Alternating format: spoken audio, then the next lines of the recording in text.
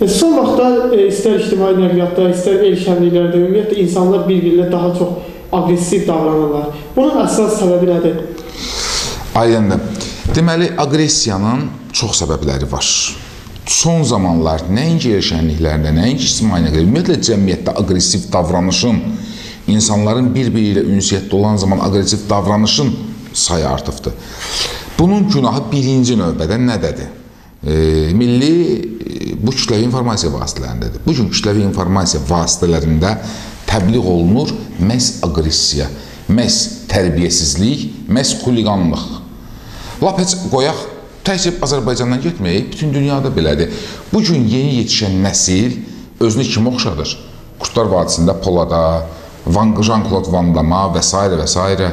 Hansı ki, hansısa problem olanda beynin gücü ilə yox, e, silahın gücü ilə həll etməyə çalışırlar. Biz uşaq olanda özümüzü hansısa bir alimə, yaxud da e, kosmonavt olmaq istəyirik, kosmik fəzanı tədqiq eləmək, belə şeylər eləyirik. Gəlin baxaq, kütləvi informasiya vasitəsində Lütfizadə daha çox təqdim olunur, təbliğ olunur. Hansısa bizim Oxford Universitetinə, Cambridge Universitetində oxuyan uşaqlarımız, tələbələrimiz daha çox təbliğ olunur, yoxsa bizim adi deyək idmançılarımız? Əlbəttə idman da lazımdır. Bizim bayrağımızı qaldırırlar, amma idmanla yanaşı bizim ali məktəblər oxuyan tələbələrimiz var. Bu gün 700 balla girən uşaqlar var. E, onlar Azərbaycanın gələcəyidir. Onlar bilirsən e, nələr verə bilərlər bu millətə.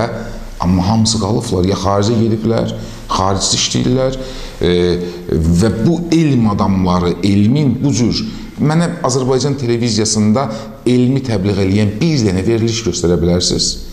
Bir dənə də olsa elmi, kütləvi veriliş göstərin. Azərbaycanda Kütləvi informasiya vasitələri günahkardır bu işlərdə. kütləvi informasiyalı bir. Birinci bu. Sonra keçdik təhsil sistemi. Təhsil sistemində e, buraxılan boşluqlar, savadsızlığın artması e, burada əsas rol oynayır. İnsan nə qədər ali olsa, nə qədər təhsilli olsa, elmi olsa, özünü daha adekvat aparır. Nə qədər tupoy olsa, o qədər daha çox dalaşmağa meylləyir. Tərbiyədə, evdə tərbiyənin olmaması, Bu günlərim yeni metodlar çıxdı. Psixoloqlar deyir, uşağı danlamaq olmaz, uşağı bunu eləmək olmaz, cəzalandırma olmaz, peşman şey olmaz, azadlıq verilməlidir. Budur bax, azadlığın nəticəsi. Bu yaxında dünən oxuyurdum internetdə, məktəblilərdən neçə min nəfər, e, 1200. 1200 nəfər abort olunub. Bax, azadlığın nəticəsi budur. Azad təhsilin nəticəsi budur. Uşağın nə istədiyi cəzalandırmamaq olmağın nəticəsi budur. Bilirsiniz, e, bəziləri məni bəzən kimsə məni köhnə fikirlikdə günahlandıra bilər. Əgər cəmiyyətdə istəyir cəmiyyətdə olsun, istəyir insan həyatında cəza mexanizmləri yoxdursa, anarxiya baş verir və insan ağlına gələn eləyir. Təsəvvür eləyək indi bizdə tutaq ki, polis yoxdur, yol polisi yoxdur, nə bilim, e, prokuratura, güc hüquq mühafizə sistemi yoxdur. İnsanlar ağıllarına gələn eləyirlər.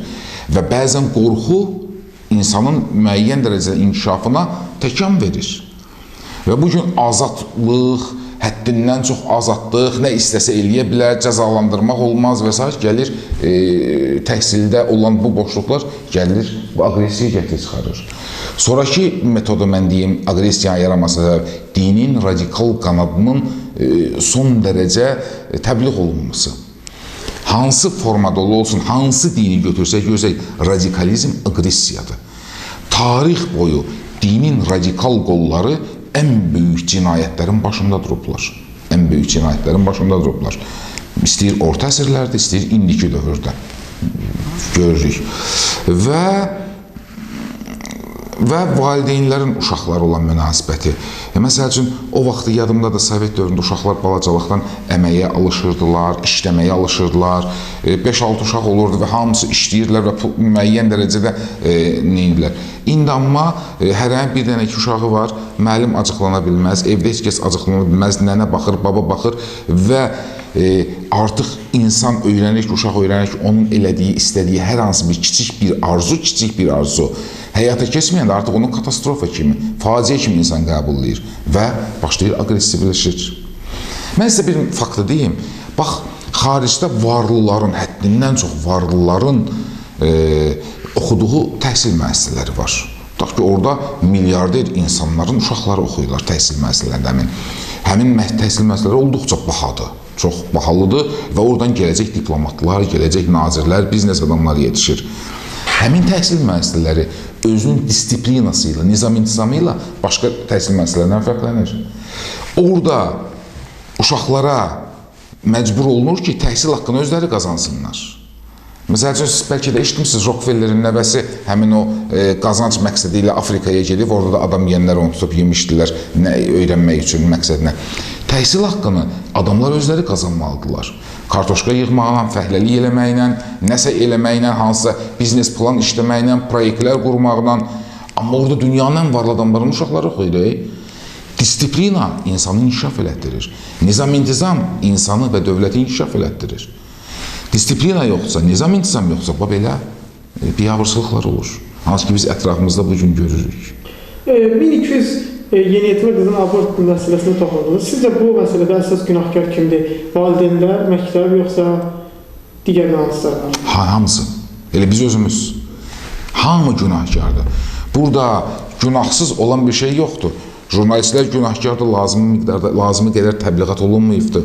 Valideynlər günahkardır, başlı başına buraxırlar uşaqlarını. Başlı başına buraxırlar.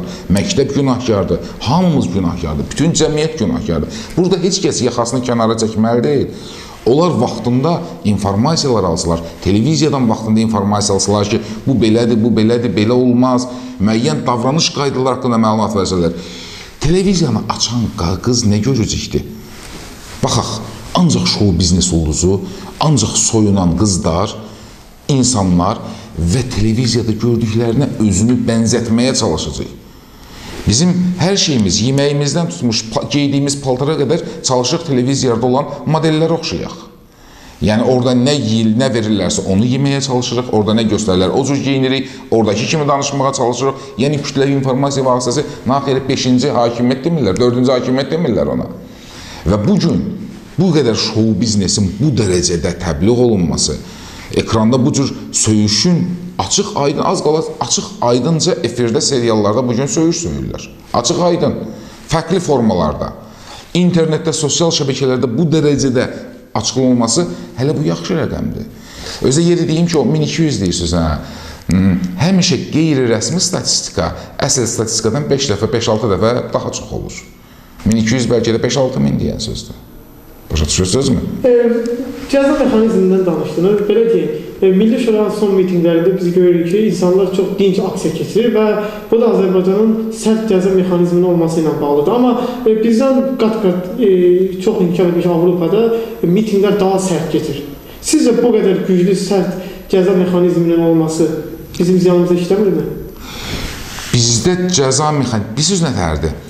Cəza mexanizmi deyəndə bir şeyi mən nəzərdə tutmaq istəyirəm. E, Bir şeylə qarışdırmamağı istəyirəm. Bir var ədalətli cəza, bir də var ədalətsiz mövqe. Məsəl üçün, mənim uşağım əgər e, hansısa bir e, pis iş görübsə və mən onu izah eləyirəm ki, bu işi görməyin pisdir, oğurluq eləmək tutaq ki, pisdir və mən onu cəzalandırıram. Bir də var ki, o heç bir eləmədiyi halda və mən onu cəzalandırıram, ədalətsiz cəza. Və bunlar fərqli-fərqli şeylərdir. Və harda ki, ədalətli cəza varsa, həqiqətən cinayətkar cəzalanırsa, ədalətli cəzalanırsa, burada hər şey qaydasında olur, normal olur.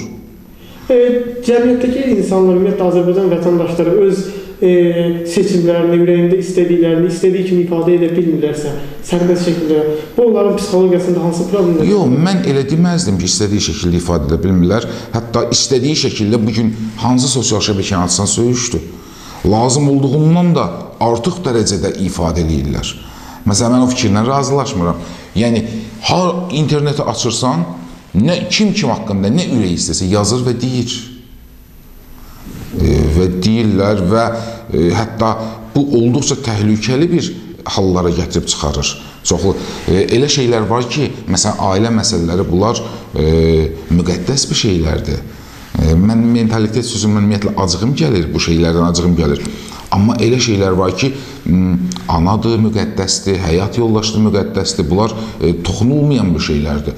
Amma bu günlərim e, görürsən ki, e, kimin kimləsə xoşu gəlmirsə və bunu açıq şəkildə şantaj və çox eybəcər və çirkin şəkildə deməkdən çəkinmir.